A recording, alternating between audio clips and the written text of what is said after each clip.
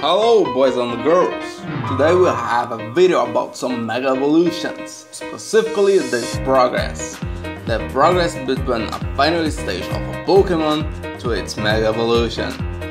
I already did a similar video about it, featuring some starters and you can check here. And now it's the time about our loved Mega Evolutions. Since some of you don't watch the full video, I will add the information right now. Not all Mega Pokemon are here. There are 24 Megas, so there are missing other 24. With everything said, let's go to our video.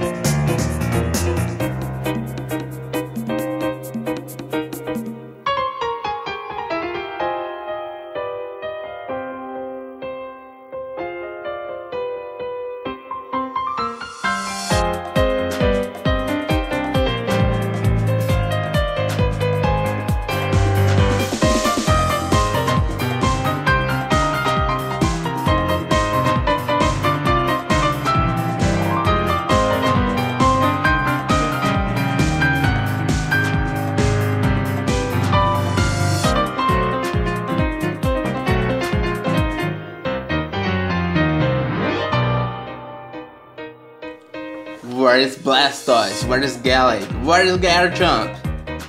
They are here, here, and here.